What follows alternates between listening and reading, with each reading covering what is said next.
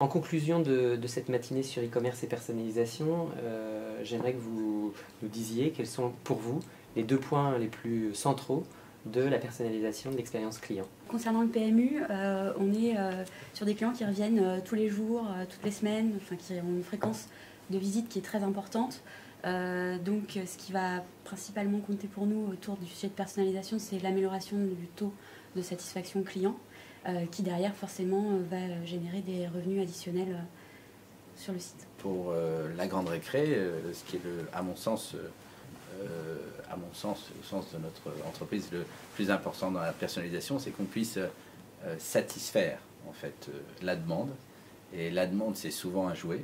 Et comme les gens ont besoin de trouver ce jouet, puisque on est dans un cadeau, et le cadeau est là pour satisfaire l'enfant et pour le bonheur de l'enfant, donc euh, plus on est capable de connaître les besoins de notre client, plus on est capable de le satisfaire et de, trouver le jouet euh, dont ils ont besoin pour, euh, l'enfant. Et donc l'enjeu de la personnalisation, c'est de savoir au mieux ce que la maman est venue chercher, de l'aider à le trouver.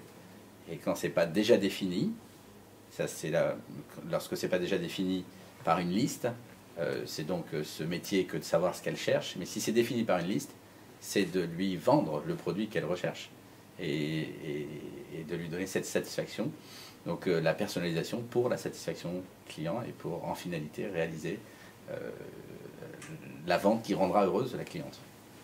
Mais en fait, chez Deezer, on n'est pas très très loin finalement de la grande récré, puisque la personnalisation, dans un premier temps, elle va jouer un rôle de. Enfin, elle va nous permettre d'optimiser le fait de faire revenir les utilisateurs sur le service, donc de faire utiliser petit à petit de plus en plus ce service, et, qui, et que quand ils arrivent à chaque fois sur le service, ils se disent Ah ben tiens, ils, me comprennent, ils savent qui je suis, euh, donc ça me donne envie d'écouter de la musique et de revenir euh, jour après jour. Et petit à petit aussi, via la personnalisation, de savoir se dire, enfin de, une fois qu'on a passé cette étape de revenir souvent, bah, petit à petit bien comprendre euh, toutes les spécificités, tout, tout, ce qu'ils vont pouvoir tirer du, du service Deezer, sur la création de playlists, sur le mode offline, enfin tout un certain nombre de choses. Et, tout ça pour, in fine, arriver à, euh, idéalement, les convertir au modèle payant.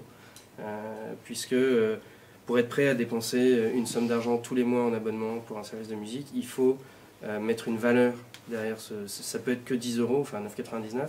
C'est à la fois pas beaucoup et à la fois beaucoup. Et pour que ça se soit perçu comme finalement pas beaucoup, il faut que la personne, bah, on lui donne en permanence l'envie de, revenir avec un service de bonne qualité.